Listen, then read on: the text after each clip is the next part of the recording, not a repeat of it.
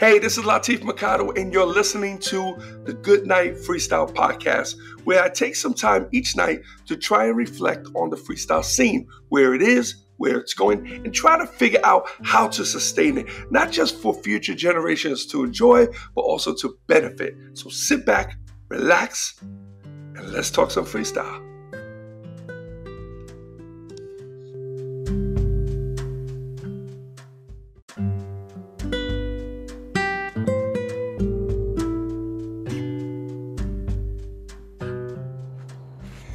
Hey, what's up, everyone? It's Latif, and welcome to the Good Night Freestyle Podcast. And this is episode 95. Hope, hoping you guys are all do, doing well. Everybody's home, staying safe. Um, I'm praying that none of this crap is uh, affecting any of you or anyone that you know. Um, same thing, man. Over here, uh, doing the same thing that I've been doing. you know what's so crazy is that I would normally be doing this. Like, what I'm doing is my typical routine. The difference, however, is that I just the thought that I can't do anything else is what messes with me. And uh, someone else had mentioned that also, and it was funny because I thought I was the only one. So I'm a self, I'm self isolated anyway. I like to be by myself. Trust me, I don't like to be alone. Don't don't don't get it twisted. I don't like to be alone. I like I like I don't like when my wife's not home. You guys remember I did a podcast when she went to Florida. I didn't like it. okay?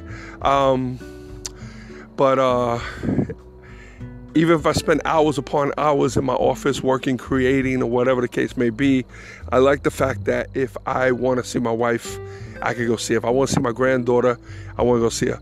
Uh, it's one of the issues that I have not seeing my kids. You know, thank God for FaceTime and stuff like that, you know, and texting. So, social media, once again, folks, you know, I preach about social media. I had somebody, um, so funny. I had someone, uh, a relative, actually a couple relatives who were, they're older than me by about, I'll say about 10 years maybe long, maybe 14 years, I would say. That's about right. Both pretty successful, pretty successful. Um, very typical jobs. Um, and they had no concept of social media. They had, as far as they were concerned, it was a waste of time they don't know why it even exists. When you ask if you have an account, they kind of give you that face like, yeah, I, don't, I don't do that. I don't do Facebook. I don't do those. I got too much time. I don't have time to be on there. you know? Uh, yeah. Um, there's a lot of things we don't have time to do. You know, there's, you know, we shouldn't have time to watch TV. We shouldn't have time to go for a walk. We shouldn't have time to freaking soak in a bathtub, you know? We shouldn't have time to watch a game, you know? We shouldn't have time to play with the kids, to have a cookout. We shouldn't have time for any of that stuff, but we do. We make time for this stuff. Um, social media now, if you're sitting there and you're just kind of getting involved with the gossip. And that's cool too. It's entertainment. So that's the whole purpose of, of social media. It's entertainment.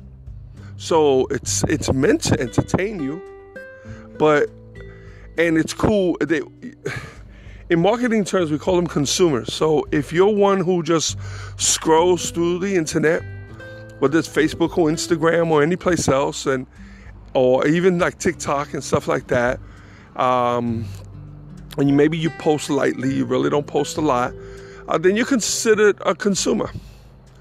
Not meaning that you buy anything, meaning you consume the information, whether it's entertainment or educational stuff.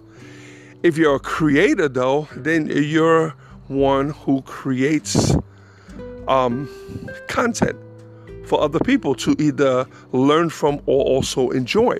Now, a lot of times, uh, we might post pictures of our family, our kids, or whatever the case, graduation, a happy birthday, and that's cool. That's partial of entertainment.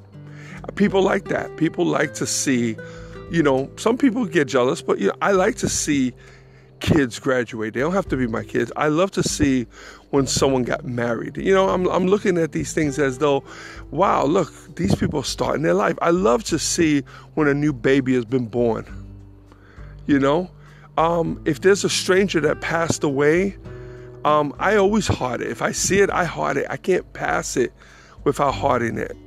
You know, um, I don't know the people, so I won't leave a comment or anything like that.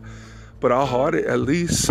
You know, um, I like when people, you know, uh, was successful. That something successful happened with them, whether you know whether it's in the business, got a deal or whatever the case. I, I like to see this stuff you know, and I'm glad that we all are fortunate enough to uh, to participate with this. But then you have creators. Um, I consider myself a creator. Um, I like to create content for people to enjoy. Some of my content is for people to learn or to be inspired. So if you look at a lot of my older uh, Instagram posts, right now I'm doing a lot of TikTok posts. Um, because uh, I'm just sharing. that. I'm really, really absorbing that platform. Uh, just another platform that I'm getting involved with. Um, but if you look at my old uh, Instagram uh, post, you'll notice that there was a lot of motivational quotes. And what was interesting with the motivational quotes is they were mine. So I didn't repost other people's quotes. These were quotes that I wrote. And then not only would I write them, um, I'm okay with Photoshop and Illustrator, so I can actually create uh, the image. So if you look at the image, you will not find those images anywhere else. If you saw the image, um, it's altered somehow, whether it's the color, whether it's the background. If it's a picture of an old man walking and he was normally walking, you know, in a park, you know, I might change the park and make it him walking, you know, in a in a mall or I might have him walking on the beach, and then I might change colors. Not typical because I don't. I'm not an artist. I don't draw. So, and I'm not. I'm not out there taking the pictures. So I'll take images and I'll manipulate them uh, to express the quote that I'm trying to write. So, and so if you look into my Instagram, I, I, I, advise a lot of you to check out my Instagram account and go like all the way down to like the bottom and check out some of those. And just keep in mind, that I created those. So I created, I wrote the quote, um, came up with the quote, the idea of the quote, um, and I also manipulated or really designed the image. So they're my images. You won't find them anywhere else. And I love doing that thing. Time consuming though, because I was doing one every single day. Now I do want to get back into that. Um, I have a lot of them, uh, and I even have um, I want to create a book of quotes that are just my books, just my quotes, uh, a book. I have enough to do that, uh, but I want to I want to create more. Uh, so I just have to um, get that back back on schedule, you know. So right now, you know, I'm trying to do, and I'm trying to do a lot of daily stuff. If you notice, so I'm trying to do the daily TikToks, which is challenging. Challenging, especially if I if I do the long ones like I did today. Um, they're long to me because they're 30 seconds. so you guys watch them and you can hold your breath and watch the whole thing. Trust me when I tell you, I think today's TikTok took me about three hours, maybe four. And you're probably saying, How the hell?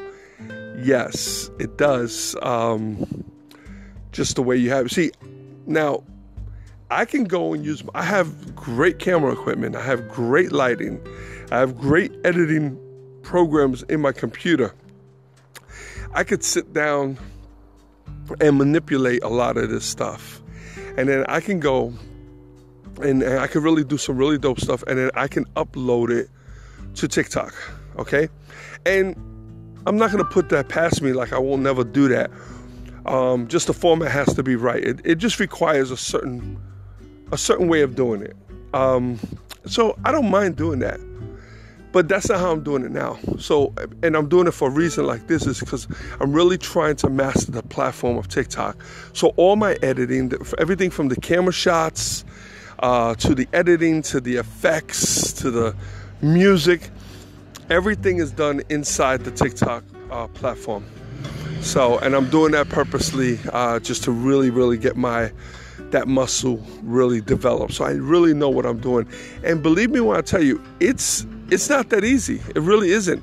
In fact, let me tell you what happened today. Though the first hour and a half I spent creating the TikTok, I forgot to do one thing. The segment was a 60 second segment. Okay, meaning that's that was the length of the video. Okay, it was 60 seconds. I accidentally had no, I'm sorry, it was 30 30 seconds. Okay? TikTok by default sets your timer up for 15 seconds. Okay? What you have to do, they give you two choices. They give you 15 seconds, they give you 60 seconds.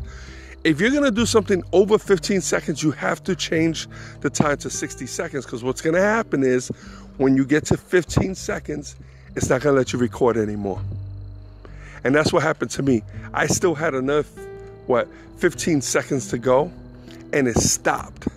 And I already did a lot of work. I already, because I mentioned this last time, uh, those TikToks are not done like I'm not like today. Uh, I did the Book of Revelation, so um, um, Revolution by Kirk Franklin, but um, I didn't sit there and do like all the preachers parts first, and then go and do, you know, the DJ's parts second, and then edit everything where they're supposed to go. No, I had to actually change my outfit and then change back.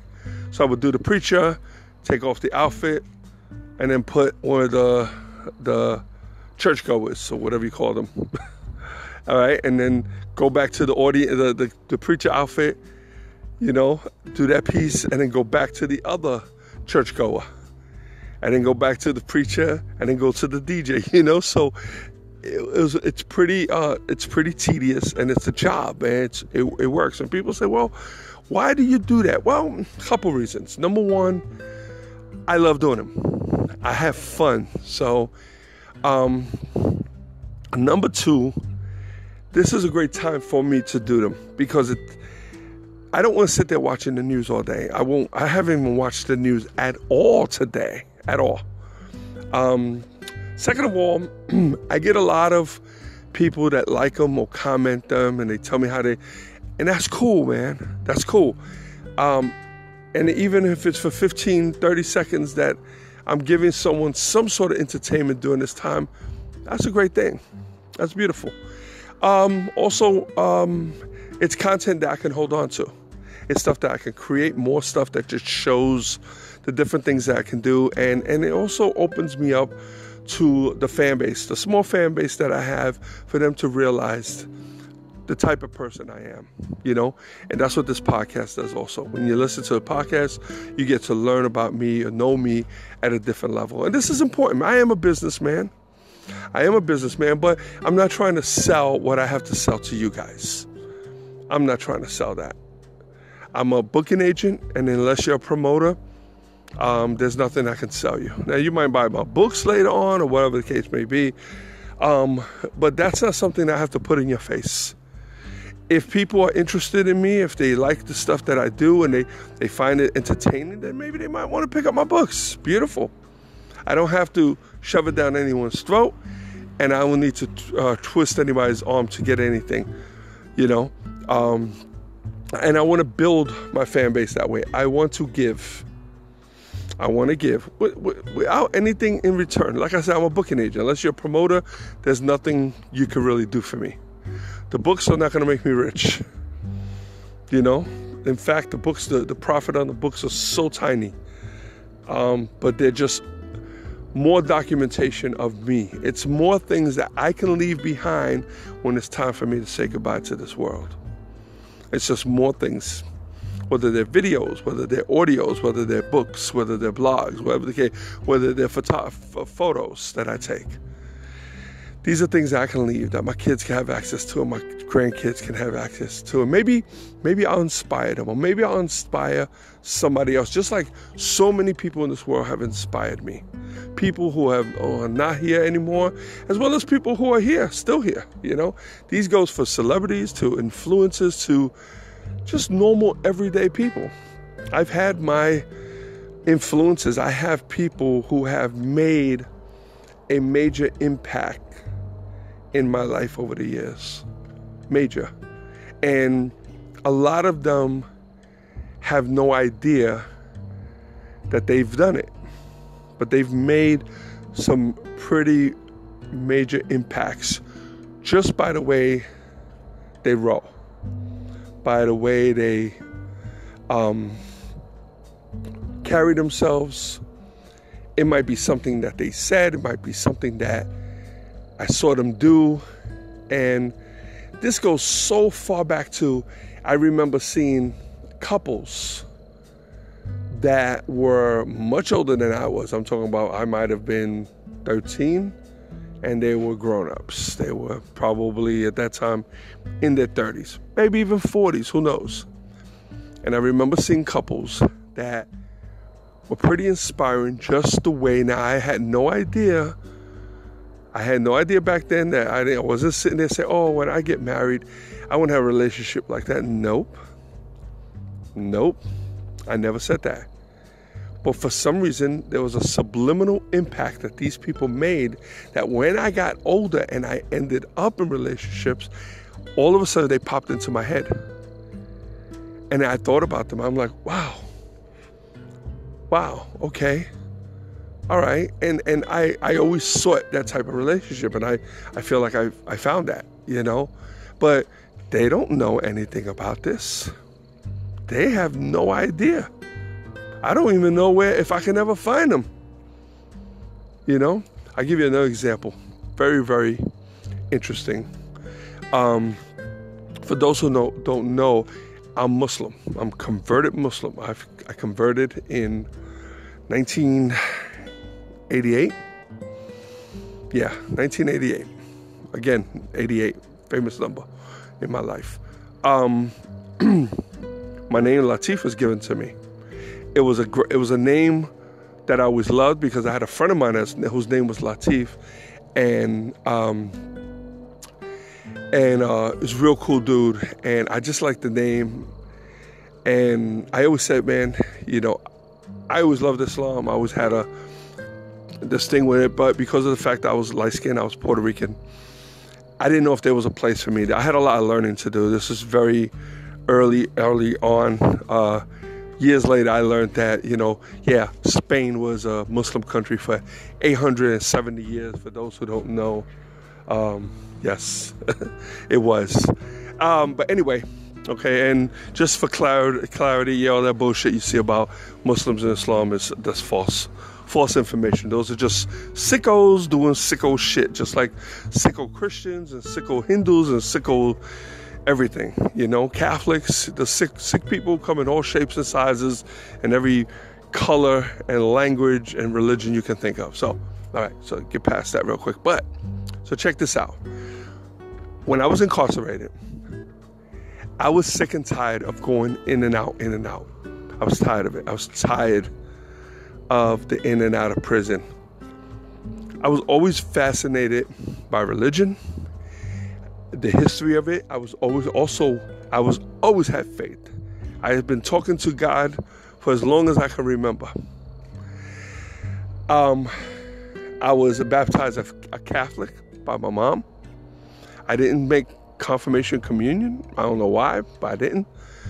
Um, when I was incarcerated, what I did is I put, you know, I wanted to get out of my cell. I had a single cell. This is one of the first bids. This is like way, no, this would be my last bid because once I became Muslim, I never went back to prison. So before that, I in and out, in and out. I'm talking about this time. Now, this time I was in a cell.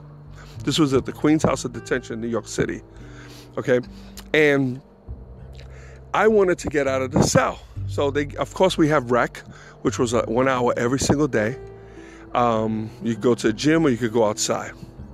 Other than that, you worked or you stayed in the dorm. There really wasn't much. But what they did have is they had programs. So they had, um, if you want to take a skill, if you want to go to college, which I did all those things too. But one thing that they had a lot of religious services. They had Catholic services, um, Protestant services, Christian services, Muslim services, uh, Jewish services.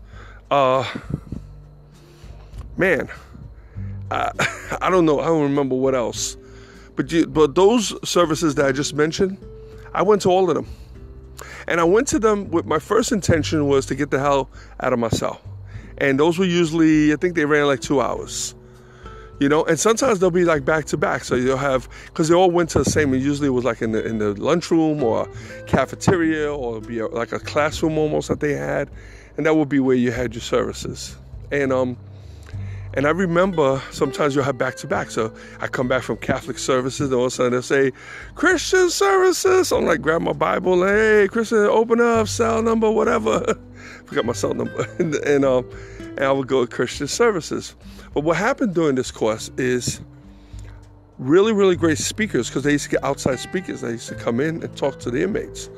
And these speakers used to come in. And let me tell you something, man. They were great speakers. I was always fascinated by speakers, people who can. It was always one of my things. I always wanted to be a speaker. I might speak now on the podcast, and you guys heard the beginning podcast. That's me on stage, so I'm I'm scared. I'm terrified, but it is a big goal, a big dream that I have. That maybe one day I've tried it. I didn't do too well though. But um, um, but these people really, really moved me, and it got me to the point where it made me interested in what they were teaching me. And I started to learn. I started to take a lot of materials that they would give and so on. And then um, I remember they used to also give us rosaries. So I remember the Catholic services they gave. So if you notice people, especially in, I don't know anywhere else, but in New York, you'll see a lot of inmates, you know, a lot of ex-cons that come out of prison. A lot of times they'll have a rosary around their neck. It'll be like a green and white rosary. Those were the no, those were the colors I remember having, the green and white ones. They were just beads with a plastic cross and you would wear it around your neck, and that was like the thing. It was like that was like the hip thing, you know. Say so you wore your rosary, you're kind of cool, and um and and I remember because the mailman that used to deliver the mail, his name was um Sharif. And just so you guys know, the word Sharif means like man of law like the man of like a like a that's where you get the word sheriff so when you see the sheriff it's actually an arabic word sharif. So when you see somebody's called sharif it's it's an it's an attribute of god of allah. So anyway so sharif was a really really cool brother. Black dude small guy bald but he looked like the epitome of health. Like he wasn't diesel but he looked very very healthy. And he wore his uniform, his SEAL uniform, and he wore his white kufi, you know, which is, you know, the little, the beanies, the little hats that the Muslims wear, okay? And he was bald headed. I remember he had these round wire glasses, real thin mustache. Um, real, you know, wasn't that dark like a, you know, brown skinned dude. And he was cool because he would come and deliver the mail. He'll call your name, and you come up to the gate so we live, you know, we had the cells, but then he came. There was a middle section where he can have access to all the sections, all the all the sides. So he'll call your name, or when you know the mail's coming, you kind of you kind of crowd around him, not too far, not too close, because he'll tell you back up, and then he'll call your name. You step up, you get your mail. But what was cool about Sharif is he spoke to everybody. He didn't just give you your mail. He knew you guys, and he remembered everybody's name, and he would greet you by, "Hey, hey, you know, Eric." How you doing? How's everything? You doing okay? You good? And I remember one time somebody sent me cash, and that's contraband. You get a lot of trouble for that, even if they send it to you. And I remember he has to open your mail in front of you, so he will open it, and while he's talking to you, he just takes it. He doesn't read it. He just opens it, make sure no no marijuana pops out. I remember one time a twenty dollar bill was in there, and he said, "Oh," I said, "Oh," I said, I, I didn't I didn't know they sent that." He goes, don't worry, man. He goes, I'll put it in your account. And he did. He put it in my account. So he could have got me in trouble, and he didn't, you know? Um, but I'm going to tell you what, what moved me with this guy. And he plays a huge role in why I became Muslim. Now, I always thought in my mind, Muslims didn't believe in Jesus, and Muslims was antichrist, and they didn't believe in God. Man, I had all this craziness going through my head, just like a lot of people do. They just don't know, they don't understand. So I remember one time I'm standing there and I had my rosary on. And I'm talking to Sharif and he's going through my mail. I used to get pretty decent mail, amount of mail. And we're talking. And I remember him reaching through the bars while we're talking in the middle of the car, like he's talking to me. And as he's talking, he reaches through the bars and he takes hold of my rosary, the cross part. Now, you know, in my mind, I'm thinking, yo, is this school dude gonna like pull it and all the beads are gonna fall? But he didn't. You know what he did? He turned it around because the little Jesus guy on it was facing my chest. So he took it. So he took it. So he took it and he he flipped it he flipped it around, you know? And um and he put it right and he just continued and he just continued talking to me. So, anyway, um, but anyway, so sorry guys, I got a little disrupted. Angel was calling me, but um, and and that made a huge, a major, major impact on me, and um, and Sharif never knew this. Now, now this is what's so crazy. I'm gonna tell you something. What was so crazy? When I finally came home, right? I used to go to the mosque on 96th Street. I forgot where that was, the Second Avenue? I forgot, but it was a beautiful mosque in Manhattan, brand new. And I remember I was there and it was just crazy. I saw Sharif. Now, Sharif never knew that I became Muslim because this was in the city jail in Queens House. Sharif, I didn't turn Muslim until I went upstate. So I did about 18 months in the city jail, and then I went upstate, did the other 18 months, something like that. So he never knew this. I never told him. I never told him I had intentions. I never showed any kind of interest, nothing. But then I'm at the mosque on 96th Street, and I get up and I'm walking out. I was there by myself, and I could, I recognize him from the side. He's sitting down. He's just sitting there reading. I said, "Oh my goodness." So now this remember, this is almost two years later, maybe more. Because I did 18 months upstate, plus I was already home for a little while. And I went up to him and I knelt down, you know, beside him because he was sitting on the floor. And I said, Assalamu alaikum. And he turned to me and goes, Wa alaikum salam. He shook my hand. I said, Do you recognize me? And he's staring at me. He's like, no, brother. He goes, I, I, I don't, I don't.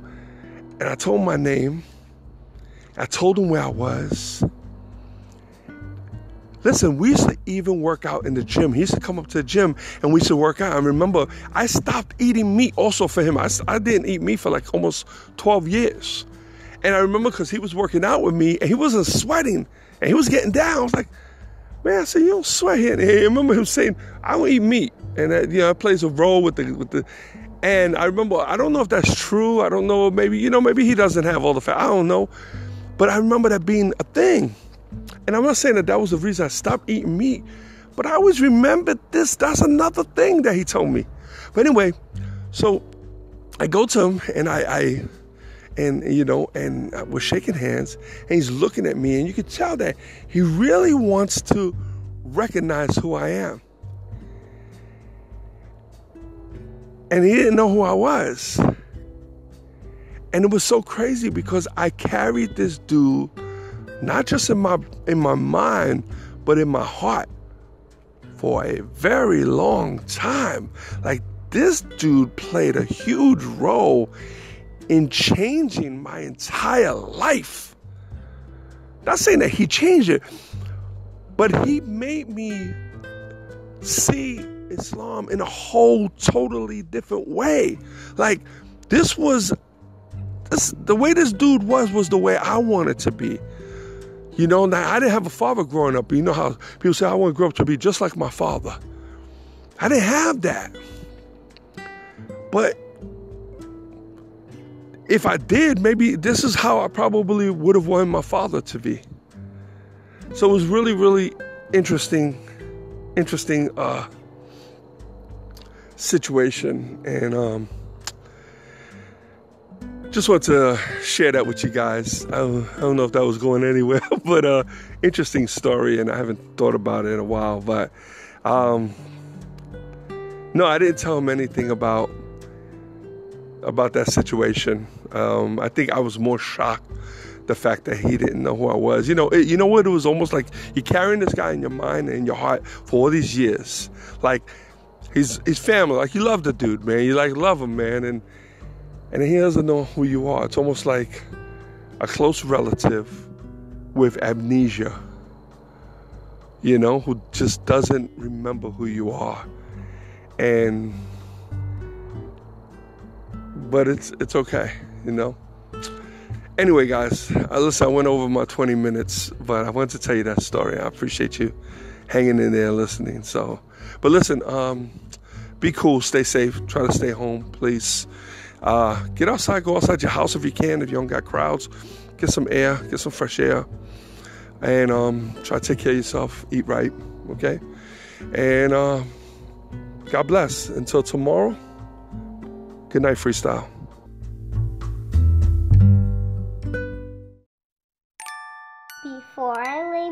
To sleep, I pray to hear a freestyle beat. For if I die before I wake, I hope to make it to the break.